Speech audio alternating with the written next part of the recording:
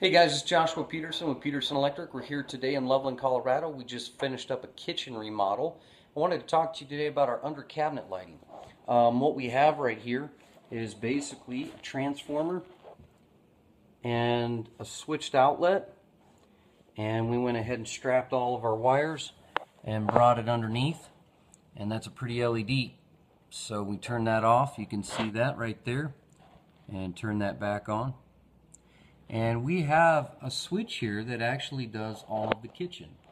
So as I turn this off and on, you can see the rest of the kitchen turns on and off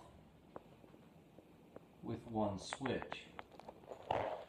So in this kitchen, we've got what we call five zones.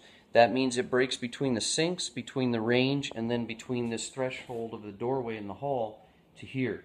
And we were able once all the drywall was off for this kitchen, to go ahead and wire and connect all those and basically just make a switched outlet. No different than your disposal underneath the sink. Now, we can do this in a remodel situation, even if you have backsplash and granite.